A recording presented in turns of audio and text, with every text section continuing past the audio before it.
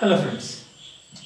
So we have seen what transformational generative grammar is.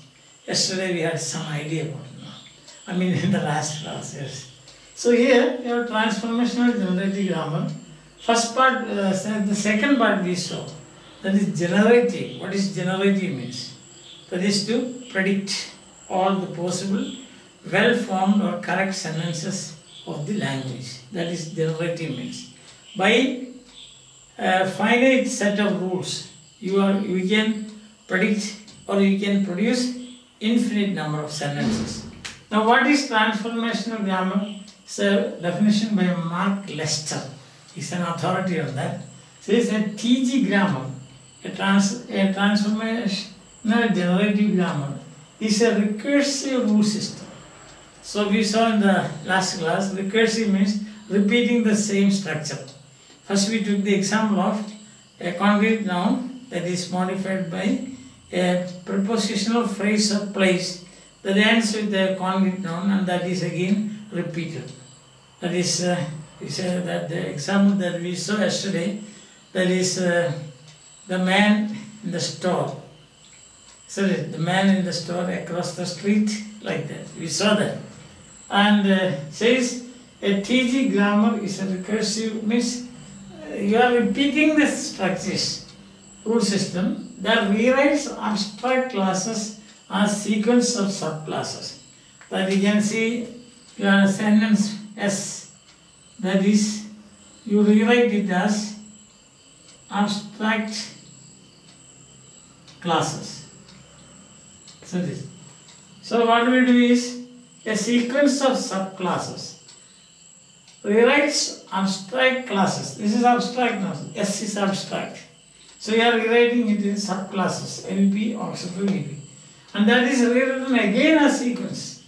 You see like this determiner, noun, auxiliary tense, and you have got uh, the main verb, and then you have a complement, or you can say an NP like this. So this is. So what happens here is we rewrites abstract classes. S is abstract class as sequence of subclasses one, two, three, and then and again each of these subclasses are rewritten as sequence of its subclasses. Here, the determiner noun subclass of NB, auxiliary tense also we know auxiliary also optional items like modal, modal, then progressive, uh, perfect, and progressive. This also we have seen, isn't it? Yes.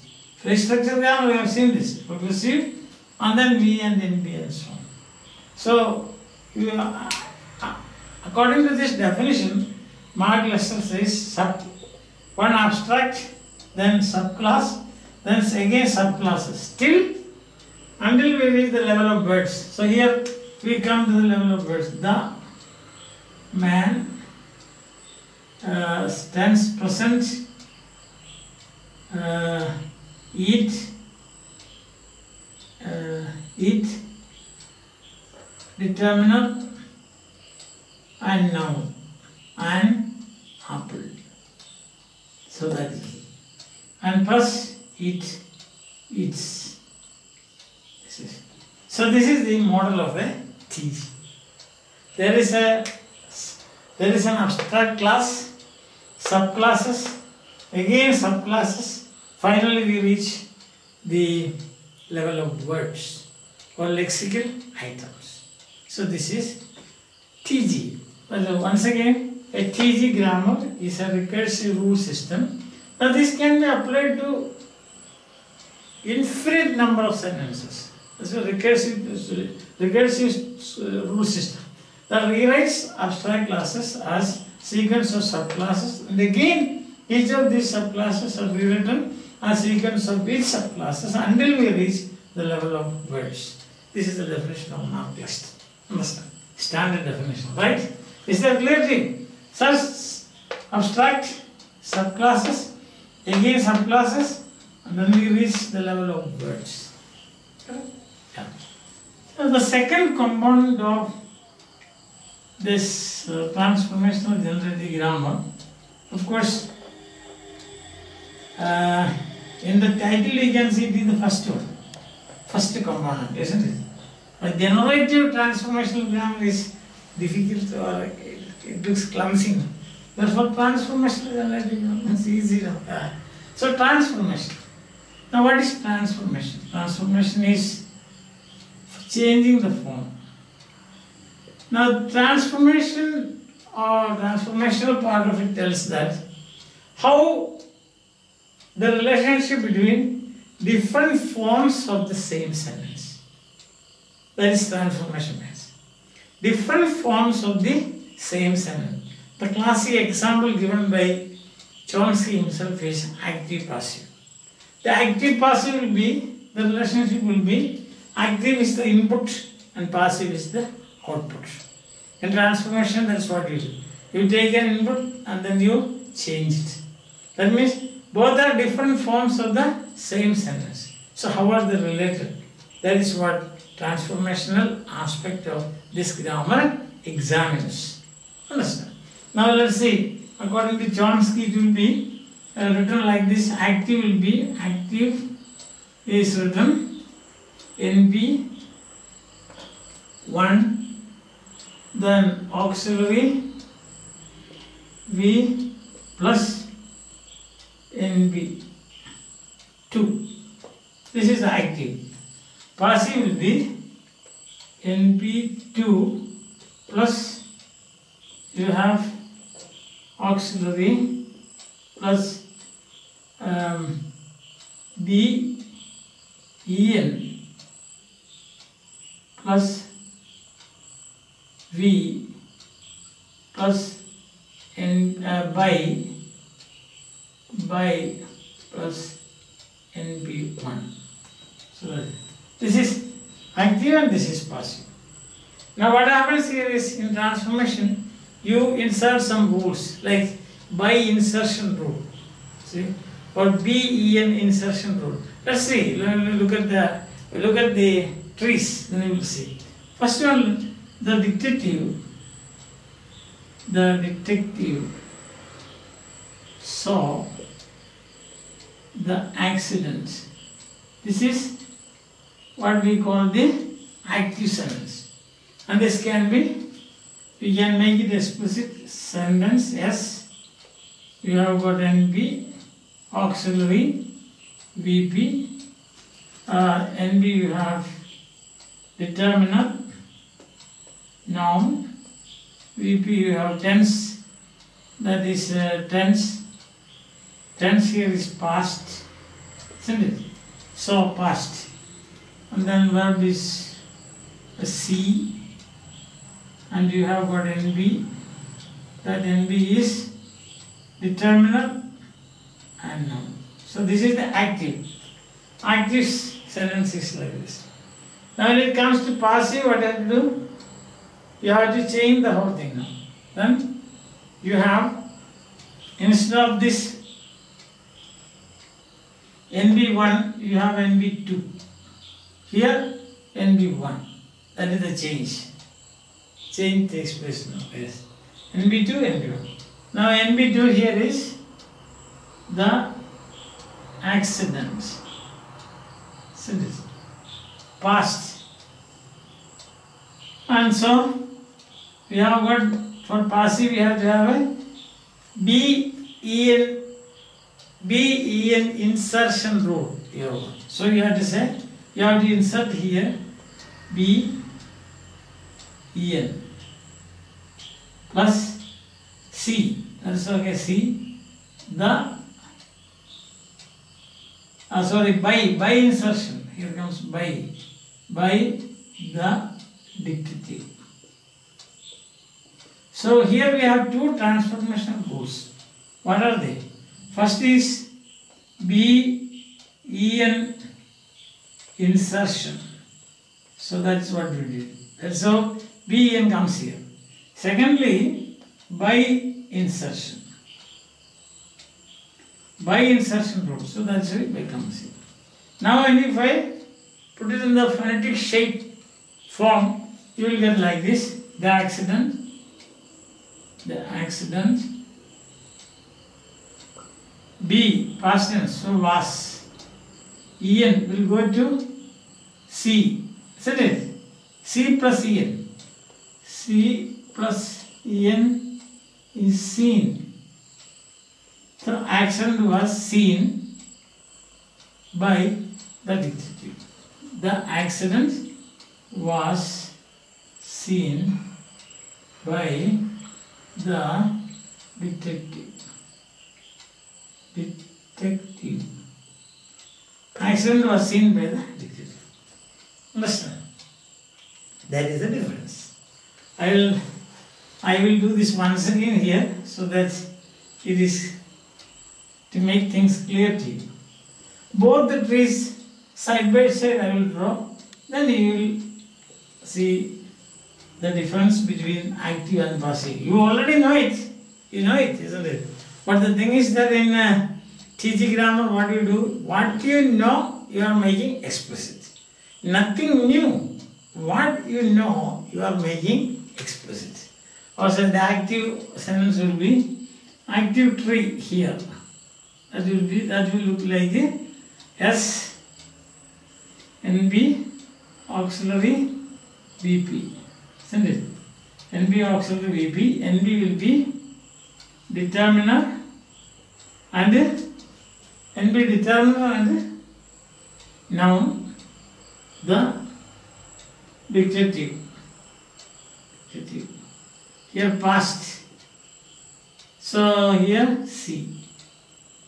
Here NB. The determiner and noun. The the dictative, the accident. So this is the C past. C plus past will become so. You Understand?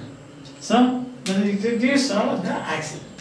Now passive will be the passive sentence would be S and B uh, auxiliary VP. And you have NB. The here it is NB2. Eh? This NB2 or this is the MB that will do. And you have got the uh, determiner now the accident the accident past isn't then you have got insertion. B-e-n b-e-n insertion. And you have c. And np nb1 here you have got nb1 isn't it? Yeah. Then then you have got a uh, determiner noun. The sin the accident the dictative by by insertion rule you have by here. So two rules here. Here you are you are applying two rules two two transformation rules. That is one is ben insertion and then by insertion. Then you will get the the accent was be past tense so past tense of be is was. En will go here. En so was seen by the dictator so there is also change nb 1 becomes nb2 in passive nb2 becomes nb1 in passive so this is transformation that is relationship between different forms of the same sentence. Both these sentences are same, only the form is changed. It? This is transformation. And this is the example that is given by Chomsky himself. What is meant by transformation? Changing the form. And the classic example is this. Okay, so you have got like this many rules, transformational rules. So that like do insertion rule, so subject uh, subject object switch rule. That's what we did just now. Switch rule. NB1 becomes NB2, NB2 becomes NB1. That is understand. So in in in uh, changing the active into passive, we apply three rules. First is the NP switch rule. Switch rule. By this, what we do is NB1 becomes NB2, NB2 becomes NB1. The second rule is B, BEN insertion. Insertion rule. And the third is we have by insertion. By insertion. This is. So we need three rules for transforming an active into passive. Understand? Once again, let me tell you, please do not think that this is anything, anything new. What we know, you are making explicit. explicit. Your competence. That's the thing. So TG grammar measures the competence of the speaker of that language. Not performance. Performance is doing. Already we have seen. And one more example we will do. A very simple but uh, uh, what we say is the simple but very common, common transformation. do. That's called as psi, psi. Symbol when I say psi, psi. What is psi, you know? He is eating banana. Banana. Let's have a bigger fruit. Huh? So now, psi means auxiliary, uh, subject auxiliary inversion. Does it mean? Subject, subject auxiliary inversion rule. It's a rule system, sir. TG is a rule system. Yeah, you are, uh, what is that? What do you know already? You are making explicit by rule system. So that is, is he, is he eating banana? This is psi, psi. Psi means subject auxiliary inversion, means changing the position. Here, subject first, second auxiliary, auxiliary first, second. So like in this way we have got uh, many rules. Already I have given you some of the rules. Now, already we know four, isn't it? In transformation, activity passive know the NB switch rule. Then you have got BEN insertion rule. Okay. And then you have another one, what is that last one? By insertion is. Now this is another side. Now what happens in, in transformation is these are two different forms of the same sentence. Isn't it? These are two different forms of the same sentence. This is something very important because very often people think that these are different sentences. No, not at all. If you know TG, one of the advantages I'll tell you. Suppose you are asked to, you are asked to uh, uh, make a question from a statement like this.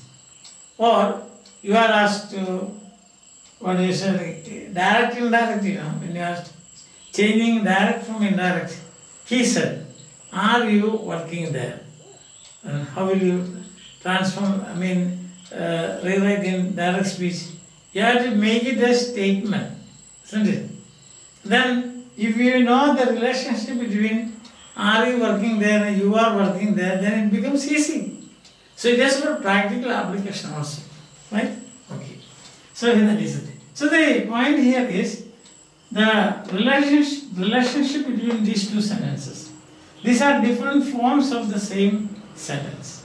This they are different form. And same thing, not insertion rule. He is eating. Negative. He is eating. Negative will be not insertion rule. You. Insertion rule. Then by that you add not here. Then he is not eating. And by contraction will say eh, he isn't eating. So you know the once you know this, you master TG, the advantage is you can see these different forms of sentences. They are not different sentences, but they are different forms of the same basic sentence or what we call kernel sentence. Understand? That's what we are uh, we are uh, achieving by studying the TG or by knowing rules of TG. What do you know already? You make uh, explicit. Things become clear to you. You have competence, you have this competence of making, but how? How that's the thing. What is the how, how are you going to explain this? Is he eating is a different form of he is eating. By you, are, you can say that by applying a rule psi. Psi means subject auxiliary inversion rule. This is the advantage of TG. Once again, you must understand, my dear friends, TG is not anything new. It doesn't bring any new things to you. But already things that you have, you know, you are making explicit. Okay? So you will again see other other uh, nuances or other uh, very interesting aspects of TG in the next few classes. Till then,